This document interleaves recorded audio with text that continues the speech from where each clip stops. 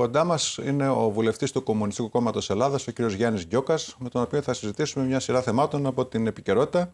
Και να ξεκινήσουμε από το. Καλημέρα. Καλή μέρα. Από το θέμα της στη Βουλή, από την, Νοβάρ... από την Επιτροπή Νοβάρτης, τη λέμε, Ναι. για τον κύριο Παπαγγελόπουλο ε, διερευνά.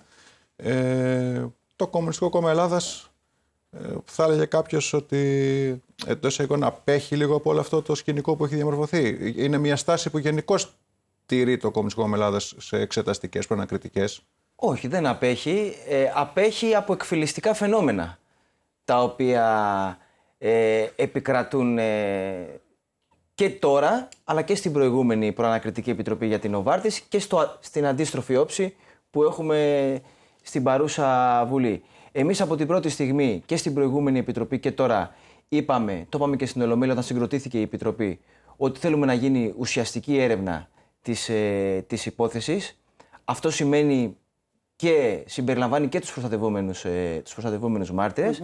Από αυτό από το οποίο απέχουμε και θέλουμε να απέχουμε είναι από, από εκφυλιστικά φαινόμενα που είδαμε και στην προηγούμενη προανακριτική επιτροπή, η οποία όπως ξέρετε με το πρόσχημα της παραπομπής στη δικαιοσύνη ήταν μια βραχίδια ε, επιτροπή, αλλά και σε αυτή την επιτροπή για τον κύριο Παπαγγελόπουλο που με αφορμή πάλι το αίτημα εξαίρεσης ε, βουλευτών ε, του ΣΥΡΙΖΑ οδηγείται πάλι στον εκφυλισμό. Από αυτό Εκφυλιστικά εμείς φαινόμενα λέτε. απέχουμε και θέλουμε να Ναι, απέχουμε. Όχι εκφυλιστικά από την φαινόμενα έρευνα. λέτε τώρα ότι, Σαφώς. ότι η- ο ΣΥΡΙΖΑ επιμένει στο να έχει τοποθετήσει ε, μέλη της Επιτροπής, τον κύριο Πολάκη και τον κύριο Τσανακόπουλο. Εκφυλιστικό φαινόμενο θεωρείτε ότι το κίνημα αλλαγής ζήτησε την εξαίρεση σας πω, αυτών των ναι, δύο, ναι. ή να, το, έτσι, να μας το προσδιορίσετε λίγο. Ε, θεωρούμε ότι το αίτημα εξαίρεσης ε, που έγινε από βουλευτές ε, του ΠΑΣΟΚ, παρά τους όποιους νομικούς ισχυρισμούς μπορεί να επικαλεστεί κανείς, αυτά που ακούγονται για παράδειγμα για την, ε, ότι δεν μπορεί να ταυτίζεται το πρόσωπο του ελεγκτή με το πρόσωπο του ελεγχόμενου ε, ή την αμεροληψία κτλ.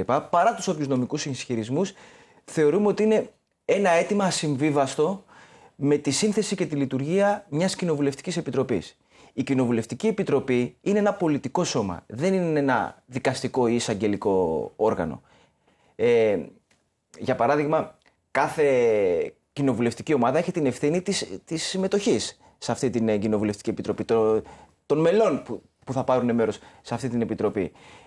Προσέρχεται σε αυτή την Επιτροπή με ένα συγκεκριμένο πολιτικό σκεπτικό. Δεν είναι ε, το όργανο της εισαγγελίας ή ένα δικαστικό όργανο. Θεωρούμε επομένως ότι το αίτημα εξαίρεσης ε, δεν, είχε, δεν είχε ουσιαστική βάση και γι' αυτό το λόγο ως κόμμα και το καταψηφίσαμε όπως και αντίστοιχα στο παρελθόν παρόμοια αιτήματα εξαίρεσης είχαμε, είχαμε καταψηφίσει. Γιατί τα θεωρούμε ασυμβίβαστα με την ε, σύνθεση και τη λειτουργία μιας κοινοβουλευτικής κατ' ουσίαν πολιτικής ε, επιτροπής. Αυτό, έτσι ξεκίνησε η όλη ιστορία. Φυσικά ο ΣΥΡΙΖΑ πήρε αυτή την πάσα και και συνέχισε το παιχνίδι. και συνέχισε το, το παιχνίδι. Ναι. Και αυτή τη στιγμή βρισκόμαστε, όπως σας είπα, μπροστά σε ορισμένα εκφυλιστικά φαινόμενα, αναβολές επί αναβολών και δεν ξέρουμε αν πραγματικά αυτή η επιτροπή θα προχωρήσει. Έχει οριστεί, αν δεν κάνω λάθος, από τις 8 Οκτωβρίου, 10 Οκτωβρίου, Ναι, κάπου, και έχει κάπου αν- εκεί. δύο ή τρεις αναβολές Έχει που περάσει έχουν. ένας Τρεις, μήνας. τρεις Δεν, αναβολές. έχει- Τρεις ανα- δεν τρεις έχει έρθει αναβολές. ακόμα κανένας μάρτυρας. Πρέπει, πρέπει να σκεφτούμε όμως το εξής, μια και είμαστε και σε φάση διαδικασίας συνταγματικής αναθεώρησης. Ποια είναι η πηγή του προβλήματος, Η πηγή του προβλήματος είναι Το άρθρο αυτός 86. ο απαράδεκτος ακριβώς. άρθρο Αυτός ο 86. απαράδεκτος νόμος περί ευθύνης υπουργών. Που όλοι μιλάνε για αυτόν, όμως κανένας δεν τολμάει να, κα- να τον καταργήσει. Εμείς, η πρόταση του ΚΚΕ στην Επιτροπή Συνταγματικής Αναθεώρησης ήταν η κατάργηση του άρθρου 86. Κάποια κόμματα μιλάνε μόνο για το κομμάτι της παραγραφής, που όντως είναι σοβαρό.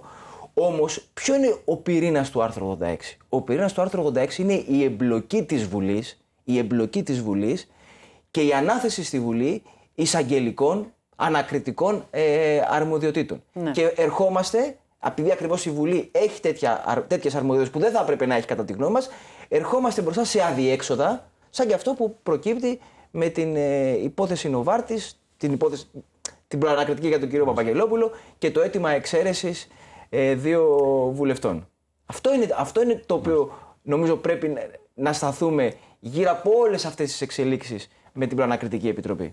Να περάσουμε στο Σύνταγμα, στην Να Επιτροπή περάσουμε στην Αναθεώρησης, στην Επιτροπή οποία μετέχει κιόλας. Συντάγματος που είστε και μέλος, κύριε Γκιόκα. Τώρα εκεί πέρα βλέπετε τα πράγματα να βαίνουν καλώς, θετικά, με συνενέσεις, με συμφωνίες, με μια έτσι. Είναι ψηφοφορίε σήμερα Ναι, που θα και γίνουν. με ψηφοφορία σήμερα. Γενικώς έχετε μια εικόνα ξεκάθαρη.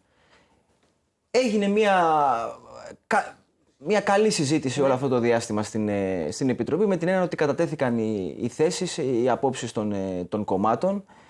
Ε, σήμερα, όπως είπατε, είναι οι, οι ψηφοφορίες. Ε, από εκεί και πέρα υπάρχουν εκ διαμέτρου αντίθετες πολιτικές απόψεις και όσον αφορά το περιεχόμενο και των διατυπώσεων, αλλά και δεν είναι το θέμα τόσο των διατυπώσεων, των κατευθύνσεων που θα πρέπει να έχει η συνταγματική αναθεώρηση. Ένα ζήτημα, για παράδειγμα, σας είπα πριν από λίγο εμείς προτείναμε να, να υπάρξει ολοκληρωτική πλήρης κατάργηση του άρθρου 86. Αυτό δεν γίνεται αποδεκτό ε, από άλλα κόμματα και τη Νέα Δημοκρατία που σε αυτή τη φάση έχει την πλειοψηφία στην, ε, στην Αναθεωρητική Βουλή. Και επειδή το συγκεκριμένο άρθρο ψηφίστηκε με πάνω από, πάνω από 180 βουλευτές, τώρα μπορεί να το αναθεωρήσει με την απλή πλειοψηφία των 151. Ναι.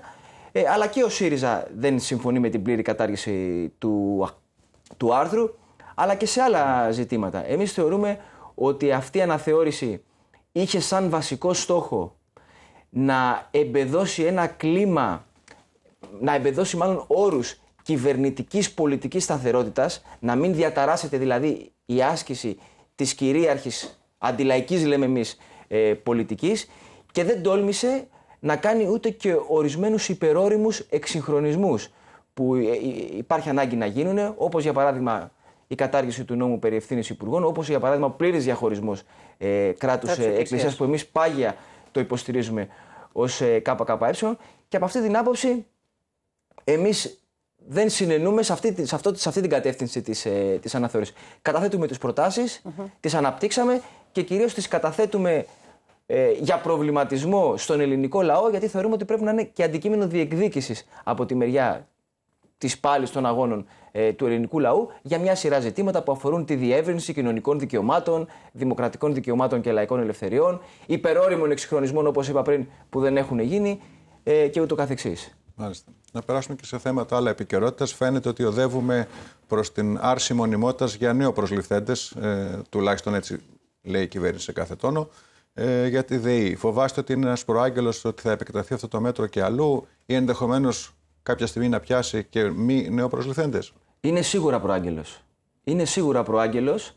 Εμείς ε, το έχουμε καταγγείλει το συγκεκριμένο μέτρο ε, και βλέπουμε ότι όλη αυτή η πορεία ιδιωτικοποίησης της ΔΕΗ στο πλαίσιο της απελευθέρωσης της ηλεκτρικής ενέργειας που την υπηρέτησαν όλες οι κυβερνήσεις, εδώ δεν υπάρχει καμιά κυβέρνηση που να μην έβαλε το δικό της λιθαράκι σε αυτή την πορεία απαξίωσης της ΔΕΗ στο πλαίσιο της απελευθέρωσης ενέργειας και οι κυβερνήσεις παλιότερα της Νέας Δημοκρατίας, του Πασόκ, του ΣΥΡΙΖΑ και σήμερα ξανά ε, της Νέας Δημοκρατίας, αυτή η πορεία έχει σοβαρές αρνητικές επιπτώσεις όσον αφορά τα δικαιώματα των εργαζομένων.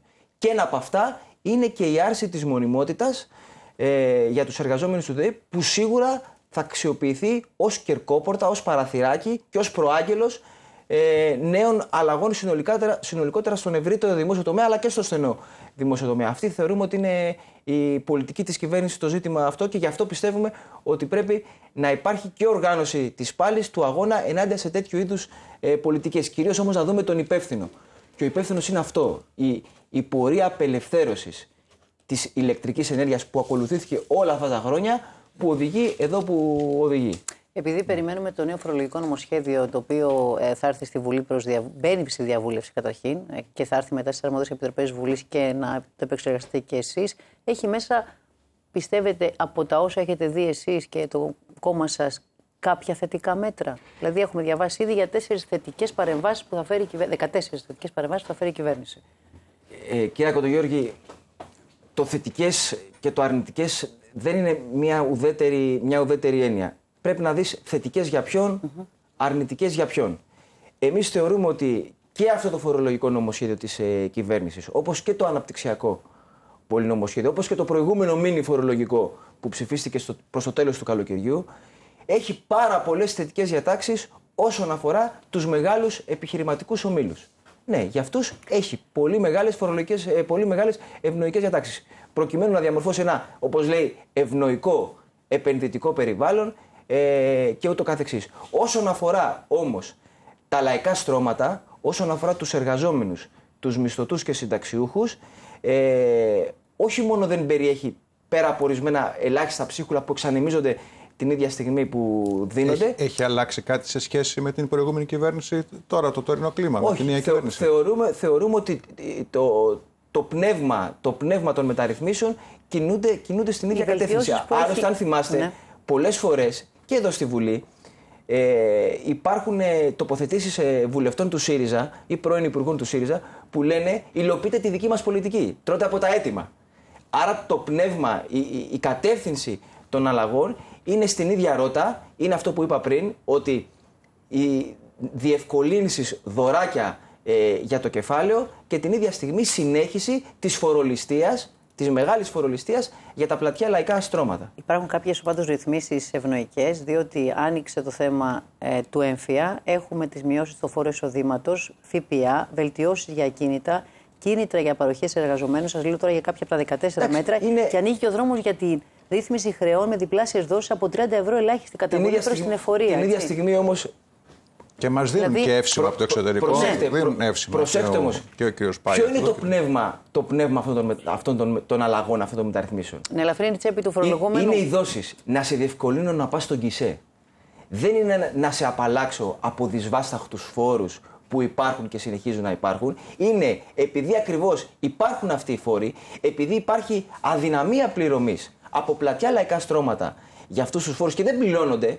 Λοιπόν, η όλη λογική είναι μέσω δόσεων κτλ. να σε διευκολύνω να προσέλθεις στον κισέ της εφορίας προκειμένου να εξυπηρετείς τις δόσεις και τις υποχρεώσεις σου. Όμως το μείζον που είναι η συνέχιση της φορολιστία είτε μέσα από τους άμεσους φόρους είτε μέσα από τους έμμεσους. Γιατί σε λίγο καιρό θα έχουμε και τον ε, κρατικό προϋπολογισμό κτλ.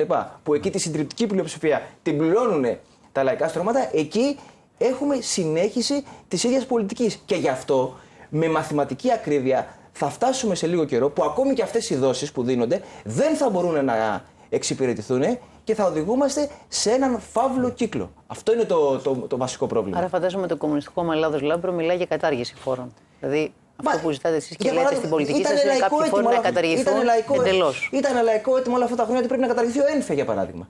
Ανταυτού τι έχουμε, έχουμε μια μείωση του σι- του 20%.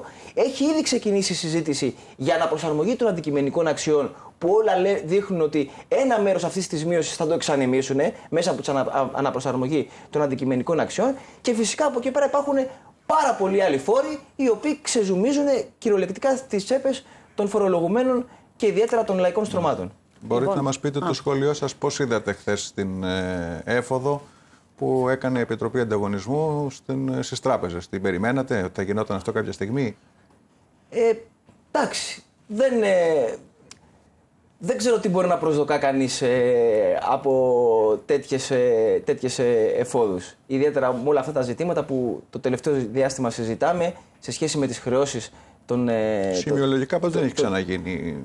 Ναι, όντως, όλες τις σημειολογικά τράπεζες. δεν έχει ξαναγίνει, αλλά κρατάμε μικρό καλάθι. Μάλιστα. Κρατάμε μικρό καλάθι. Εγώ θέλω να πάμε τώρα σε, σε, σε άλλες εφόδους, μάλλον σε επεισόδια. Πώς σας φάνηκαν, είχαμε πάλι ένταση στα εξάρχεια. Μολότοφ, χημικά, αστυνομικό τραυματία και ένα μέλος του Ρουβίκονα, ε, αν δεν κάνω λάθος, να έχει συλληφθεί. Ε, είναι μια εικόνα που το τελευταίο διάστημα την είχε περιορίσει η κυβέρνηση, προσπαθώντας και με τις ε, ε, επιχειρήσεις που είχαν γίνει στα εξάρχεια και γενικώς να βάλει μια τάξη στην περιοχή. Ε, περιμένετε πως θα έχουμε πάλι ε, ένα κύμα νέων έτσι, επιθέσεων και νέων επεισοδίων στο κέντρο της Αθήνας. Και με αφορμή τι κιόλας.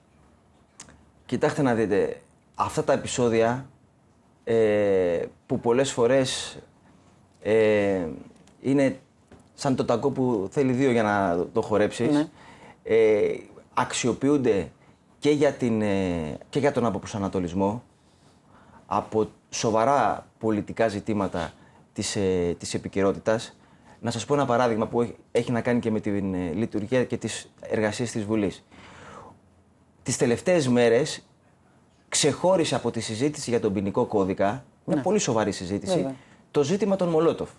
Και την ίδια στιγμή αυτό το ζήτημα επισκίασε πάρα, πα- πάρα πολλά σοβαρά ζητήματα τα οποία ε, υπάρχουν μέσα στον ποινικό κώδικα, κατά τη γνώμη μας επικίνδυνα και με το σχέδιο της προηγούμενης κυβέρνησης του ΣΥΡΙΖΑ και με το σχέδιο της σημερινής κυβέρνησης. Για παράδειγμα, ότι για πρώτη φορά στον ποινικό κώδικα εισάγονται ορισμένοι αμερικανόπνευστοι θεσμοί ποινική συνδιαλλαγής, ένα παζάρι ποινών επί της ουσίας, σαν και αυτά που βλέπουμε στις Αμερικανικές ταινίες για να μας καταλαβαίνει και ο κόσμος, τα οποία ε, χειροτερεύουν ακόμη περισσότερο τη θέση αδύναμων μερών στο πλαίσιο μιας ποινικής δίκης. Αυτά, ναι. για όλα αυτά, δεν έγινε συζήτηση και ε, επισκίασε τα πάντα η Μολότοφ και ούτω καθεξής. Έχει ενδιαφέρον αυτό που λέτε, γιατί η κυρία Κανέλη στην ε, Επιτροπή το, τη συζήτηση στην Αρμόδια που έγινε επεξεργασία ε, τοποθετήθηκε, αν δεν κάνω λάθος, για το θέμα και σε δήλωσή της στο τηλεοπτικό σταθμό, που όταν ρωτήθηκε για τι Μολότοφ και ο κύριος Λάπο από το ΣΥΡΙΖΑ ναι. αναφέρθηκε και άλλοι βουλευτές, είπε η κυρία Κανέλη για, τον,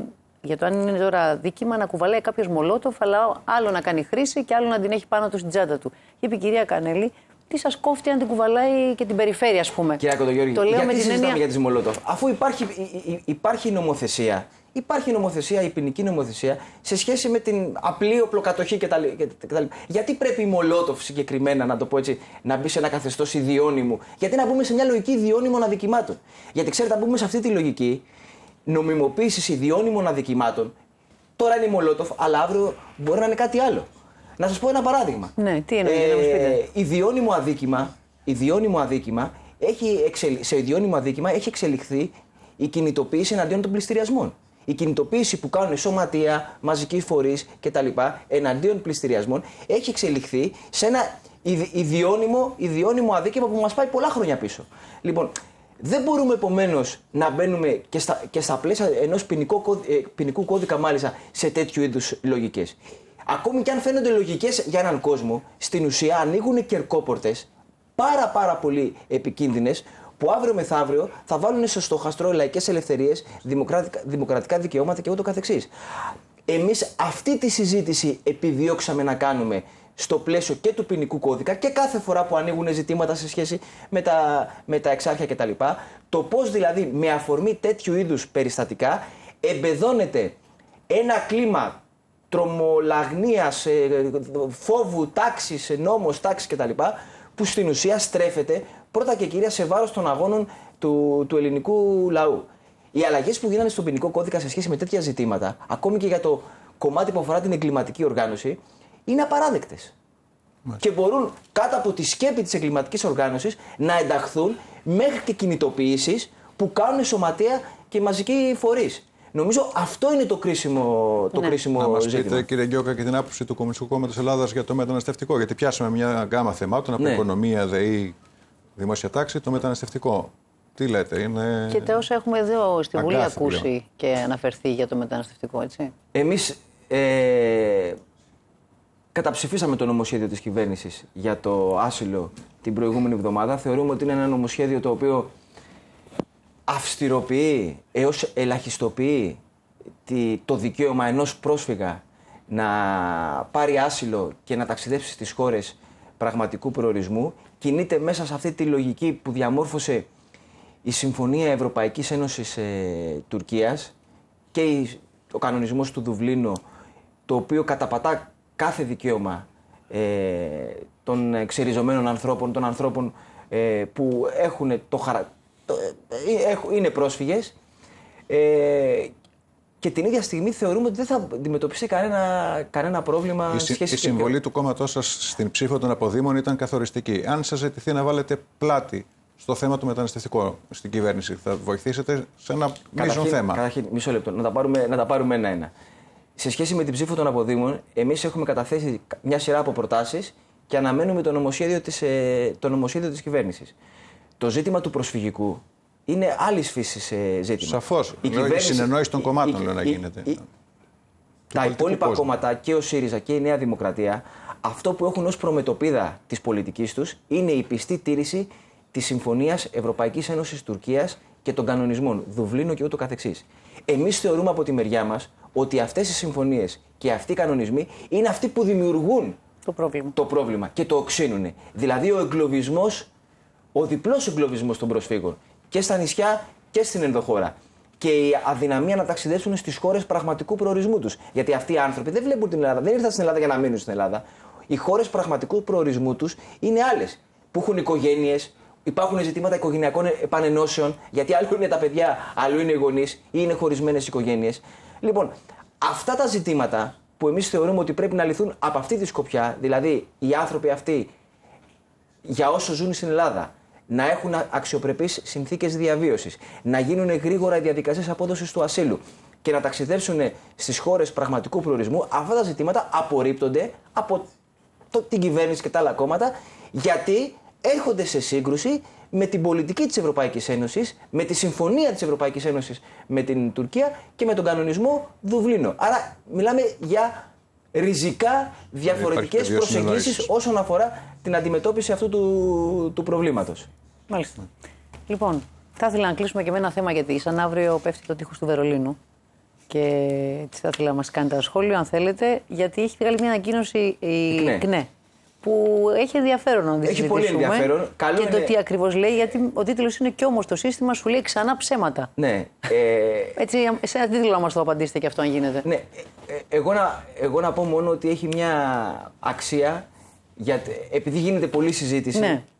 Ε, έχει μια, σημα- μια αξία για τους τηλεθεατές να ανατρέξουν σε αυτή την ανακοίνωση. Ναι. Έχει ενδιαφέρον γιατί δείχνει ορισμένα ιστορικά στοιχεία πραγματικά και αναμφισβήτητα για το πώς φτιάχτηκε το τείχ- τείχος, πώς εξαναγκάστηκε στην ουσία η, η γερμανική λαοκρατική δημοκρατία να φτιάξει το τείχος και τι κινδύνους ήθελε να αποτρέψει, αλλά το πιο σημαντικό ότι η ιστορία δεν τελείωσε στο 89 και στο 91 με την ανατροπή του σοσιαλιστικού συστήματος.